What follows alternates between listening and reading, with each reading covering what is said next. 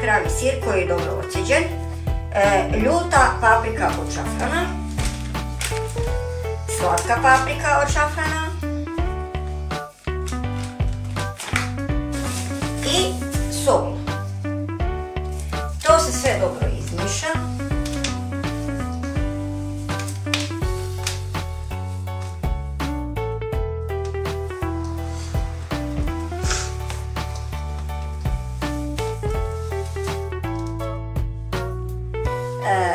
Kad sve dobro izmislimo, papriku, sol, sve izmiješamo, gruš nam dove i onda oblikujemo bjelovarski kvar.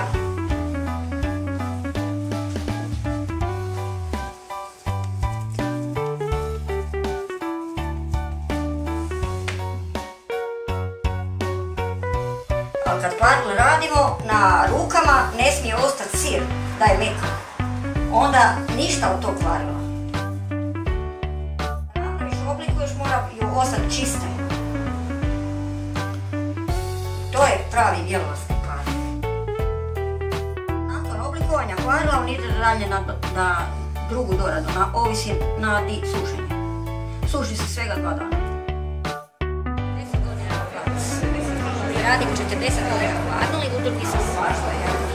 A taj sil je najizdraženiji, najkvalitetniji i najstariji proizvod grada.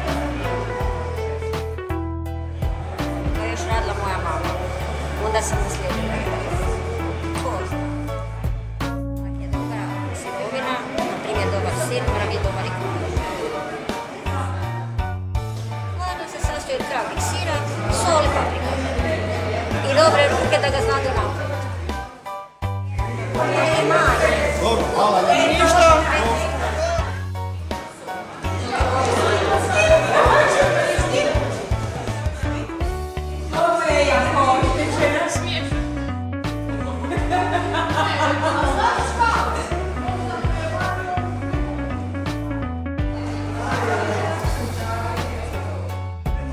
Chodź, chodź, chodź, chodź, chodź, chodź, chodź, chodź, chodź,